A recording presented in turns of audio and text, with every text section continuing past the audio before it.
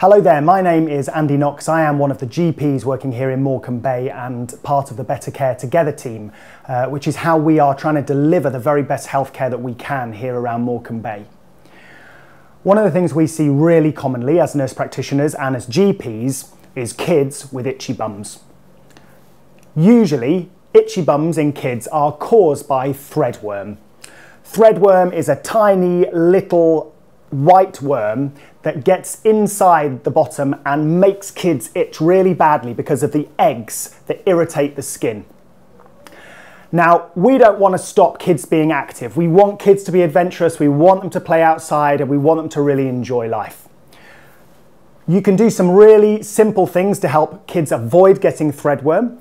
One is to keep their nails nice and short. Two, to make sure, if you can, that they wash their hands with soap after they've been to the toilet and also with soap after they've come in from playing outside. And if we can try and encourage kids to not suck their thumbs or their fingers as much, we're also going to see less chance of the eggs that live uh, within the soil getting into their digestive tract. Now, once eggs or worms are inside the body, they live for up to 14 days and they're really straightforward to get rid of and you don't actually need to come and see a nurse practitioner or a GP at all, you can treat it yourself. And there are basically two very simple things you need to do.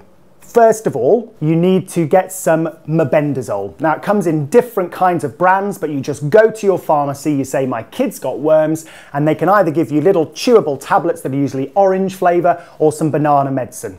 You need to treat the kid that's got the itchy bum and sometimes the other kids in the family as well. If you have parents as well have started being a bit itchy, usually worth treating yourselves as well.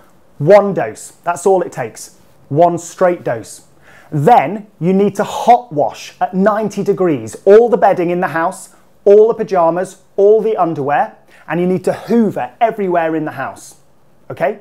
And then two weeks later, exactly, because that's how long the worm can live for, do the whole lot again. A second dose of the medicine, hoover, hot wash, and you'll get rid of the worms. The kids' bums will not be itchy anymore, everyone will be a whole lot happier.